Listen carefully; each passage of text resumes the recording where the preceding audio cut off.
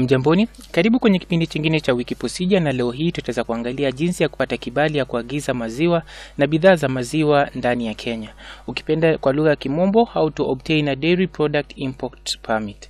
Na tukiweza kuangalia hapa chini, tumeweza kupa kiunganishi, yani link, ili itaweza kuelekeza kwenye tovuti yetu ya Wiki Procedure, mahali tumeweza kupa maelezo zaidi ya jinsi unaweza eh, wasilisha ombi hii uh, ya kuweza kuagiza uh, maziwa na bidhaa za maziwa nchini Kenya. Tukiweza kuangalia pande ya, ya kulia hapa tumeweza kupa e, fursa ya wewe kuweza kuchagua ile lugha rahisi kwako kuelewa, na ukibonyeza hii ishara inaonyesha chini e, orodha ya lugha zitaweza kuchapishwa na utaweza kuchagua ile lugha umepata rahisi ku, uh, utapata rahisi kuelewa na e, kwa mfano tumechagua Kiswahili na maelezo yote yameweza kutafsiriwa kwa lugha ya Kiswahili na yamechapishwa kwa lugha ya Kiswahili.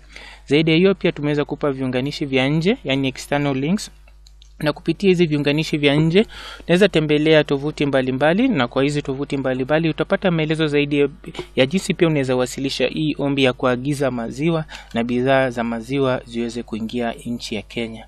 Uh, tumeweza kupa uh, pia uh, uh, maelezo kwa kina na pia tumeweza kupata fursa ya kuweza kupata fomu uh, ya kuwasilisha ombi. Fomu hii haipatikani kwa njia la mtandao, lakini tumeweza kuipata uh, tumeweza kupata e, sampuli yake tutaweza kupitia na tutaweza kupitia na tutaweza kuangalia jinsi ya kuijaza e, mali ya kuwasilisha a, zile e, ada zinatozwa na tutaweza kuangalia kwa kina polepole vile inajazwa vile tunaendelea na kipindi chetu cha leo. Lakini kabla tujaendelea, ningependa kuwasihi mweze bonyeza uh, like button kwenye hii video, mweze bonyeza uh, subscribe na pia notification bell ndiweza kupata taarifa kila wakati tunapopakia ama tunapo upload video mpya kwenye hii chaneli yetu ya YouTube ya Wiki Procedure.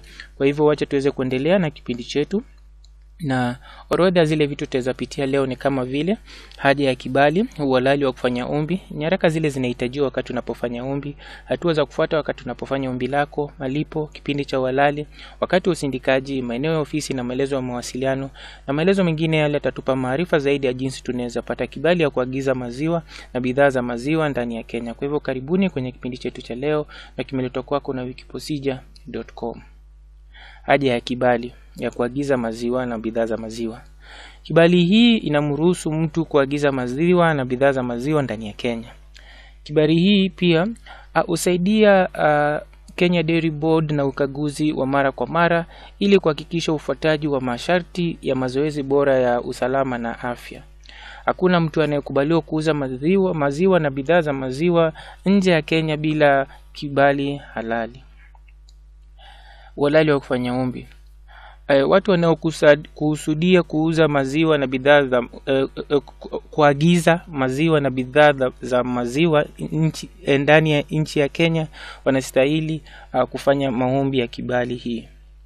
Nyaraka zile zinahitajika. E, unahitaji e, unahitaji nakala ya kadi ya kitambulisho au pasipoti, cheti cha kulipa kodi PIN ama cheti cha VAT unahitaji uh, wa shehena yani bill of lading, uh, fomu za azimu la kuagiza yani import uh, declaration form. nahitaji cheti cha idhini kutoka daktari wa mifugo. nahitaji orodha ya bidhaa zile zitaagizwa na risiti ya malipo uh, ya kibali. Hatua za kufuata wakati unapofanya ombi hii Uh, kwanza unafaa ujue kibali hii hutolewa tu kwa muombaji ikiwa amepata cheti cha idhini kutoka daktari wa mifugo yani veterinary approval kutoka nchi ya asili inayothibitisha kwamba maziwa uh, yatayoagizwa yako sawa na kwamba yanakidhi mahitaji ya kiafya ya Kenya. Uh, cheti hii cha ku, uh, cheti, uh, cheti ch, uh, cha uh, cheti cha kutopinga yani idhini ya mifugo Uh, hii ni no objection, uh, no objection certificate uh, ni hati ya lazima na inapaswa kupatikana kabla ya kufanya, mazi, uh, kufanya ombi ya kuagiza maziwa uh, nchi ya Kenya. Na hii ombi inaweza fanywa wewe mwenyewe, haiwezi fanywa kupitia uh, njia ya mtandao. Kwa hivyo hatua ya kwanza ni kupata cheti cha idhini kutoka daktari wa mifugo, inaitwa uh, veterinary approval ama cheti cha kutopinga. Uh, na hiyo cheti inathibitisha ina kwamba maziwa yanayoagizwa nchini Kenya yako sawa na kwamba yanakidhi mahitaji ya kiafya uh, ya Kenya. Hatua ya pili ni kuwasiliana na ofisi ya karibu ya bodi ya maziwa, yani Kenya Dairy Board. Uh, kufanya maombi uh, ya idhini ya, ku, ya kuweza kuagiza ma, maziwa eh, uweze kutoka nje ya Kenya uweze kuuza ndani ya Kenya. Na orodha ya matawi ya ofisi ya Kenya Dairy Board inaweza kupatikana kwa eh, hii kiunganishi hapa, na huko utapewa fomu ya maombi ili uweze eh, kujaza na kuwasilisha.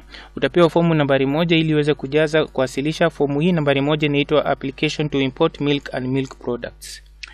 Hatua eh, kutoka hapo Uh, utatakiwa kulipa ada ya maombi ya shilingi eh, mia sita kwa ajili ya ukaguzi na pia utatakiwa kuwasilisha nyaraka zile zote zinahitajika. Baada ya uka, ukaguzi ya nyaraka uh, uliowasilishwa kwa bodi ya maziwa ya Kenya uh, uh, bodi itaweza kupa cheti cha idhini ikiwa, ime, uh, ikiwa umekidhi mahitaji yote yanayohitajika. Baada ya hii utatakiwa kulipa ada ya idhini ya kuagiza uh, kuagiza maziwa na bidhaa ya maziwa nchini Kenya ya shilingi elfu moja kwa kila usafirishaji, na baada ya kufanya malipo utapewa kibali cha kuagiza maziwa na bidhaa ya maziwa eh, kwa lugha ya Kimombo import permit to produce eh, for dairy produce eh, ikiwa ni fomu nambari tatu, na hii itachukua ki, kipindi cha siku tatu ya usindikaji. Idhini hii kuna na uhalali ya siku sitini, tisini na inafaa, uh, inafaa kutumika kwa usafirishaji moja peke yake. Baada ya kuagiza uh, utahitajika kupeleka kwenye bodi ya maziwa ya Kenya, yani Kenya Dairy Board, baada ya siku saba kukamilika, taarifa ikitoa maelezo inayohusiana na moja, idadi ya maziwa na bidhaa za maziwa eh, yatayoagizwa na tarehe ya uagizaji. Eh, idadi ya maziwa na bidhaa ya maziwa ambayo unatarajia kuagiza eh, na tarehe unayotarajia bidhaa kuwasili nchini Kenya na pia e, nchi ya asili ya bidhaa hizo na pia e, e, taarifa kuhusu mahali unapokusudia kuuza m- m- maziwa na bidhaa hizo za maziwa a, ulizoagiza na majina za, na anwani za wasambazaji wa bidhaa yani distributors, wauzaji wa jumla wholesalers na wauzaji wa rejareja retailers. Kukosa kufuata masharti ya idhini yanaweza kusababishwa kufutiliwa mbali kwa kibali yako na kukataliwa ah, kwa maombi yako kwa siku zijazo. Kwa hivyo wacha tuweze kuangalia jinsi ya kujaza hii fomu. Fomu yenyewe vile tulikuwa tumetaja hapo awali haipatikani kwenye mtandao, lakini uh, tumepata sampuli, tunaweza angalia. Fomu hii inapatikana kwenye ofisi za Kenya Dairy Board. Kwa hivyo utahitajika uta- uta- eh, na fomu yenyewe inaitwa application to import milk and milk products. Uh, utahitajika uh, kujaza nambari yako ya PIN, jina yako, tuweze kusonga chini. Utahitajika kujaza uh, maelezo kuhusu eh, anwani yako, nambari yako ya VAT, sehemu yako ya biashara, nambari yako ya simu, eh, anwani yako ya barua pepe na biashara iko e, eh, sehemu gani. Hapo hivi pia unafaa kuandika bidhaa gani unapanga, unapanga kuagiza ama kuimport kwa lugha ya Kimombo. Hii ni eh, cost and insurance and freight value. Hapo utasaidiwa kujaza na afisa wa forodha ama ofisa wa Kenya Dairy Board. Hapa pia unafaa kuweza kuandika eh, kiwango ya, ya kiwango ya bidhaa zile unataka ku, kuagiza kwa kilo. Uh, inatoka nchi gani, unaagiza kutoka nchi gani, na eh, destination ni nchi ya Kenya. Ili iliweza kutengenezwa siku gani, itaweza kuharibika siku gani, na utatumia njia gani ya kuagiza, na itaweza kuingia kupitia mpaka gani ya Kenya, itaingia tarehe gani, na itaweza ku itaweza kuhifadhiwa kwa kwa itaweza kuhifadhiwa sehemu gani ya Kenya. Hapo unafaa kuandika maelezo kuhusu hapo kuhusu hiyo. Eh, tarehe ya mwisho wewe kuwahi ku, kuagiza uliagiza kiwango ngapi na ilikuwako bidhaa gani na ilikuwako na ya dhamana gani. Unafaa kutoa hizo hizo hizo taarifa na uweze kutia saini na uwasilishe fomu kwenye ofisi za Kenya Dairy Board, na utaweza kupitia fomu na watakupa eh, karatasi ya idhini, na baada ya hapo wakiweza kupitia fomu wakiona kila kitu kiko sawa, ah, wataweza kupa sasa kibali ya kuweza ku ya kuweza kuagiza na kibali yenyewe ndio hii hapa, fomu nambari, ta, nambari tatu. Hii ni kibali ya kuweza kuagiza bidhaa na bidhaa za maziwa nchini Kenya, na hapo wataweza kuandika jina yako, watatoa nambari ya kibali eh, wataweza kuunganisha hiyo cheti eh, certificate of no objection hiyo ama hiyo veterinary approval wataweza kuunganisha pamoja na hii fomu. Eh, na hapa wataweza kuorodhesha zile bidhaa unahitaji zile uta, utakuwa unaagiza na kilo zao na ama lita zao. Hapo wataweza kuandika kiwango ya hizo bidhaa. Na hapo wataweza kutoa masharti ya hii hii kibali na hizi masharti unafaa uzifuate. Kama utazifuata e, kibali yenyewe inaweza futiliwa mbali na wataweza kuandika e, kipindi cha uhalali hapa na kuweza kuandika ile tarehe umepatiwa kibali na ile kiwango cha e, cha pesa umeweza kulipia kibali ile ikiwa ni shilingi elfu moja.